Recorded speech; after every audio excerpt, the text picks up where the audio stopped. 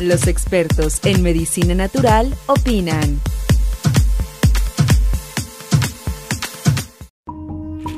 Las raíces y corteza del arbusto uva de Oregón han sido utilizadas por la medicina tradicional para tratar problemas de la piel, sobre todo cuando la gente presenta ictericia, esa coloración amarillenta de la piel debido al inapropiado desecho de bilirrubina en el organismo. La berberina es el compuesto activo de la uva de Oregón, planta encontrada en la línea de productos bioajenjo. Este compuesto ha sido utilizado con mucho éxito para enfermedades como la gastritis, fiebre y enfermedades de la vesícula.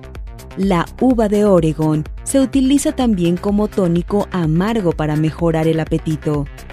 Uva de Oregón, de bioajenjo, salud natural para trastornos hepáticos y la vesícula biliar, el tratamiento fácil y rápido para la desintoxicación del organismo.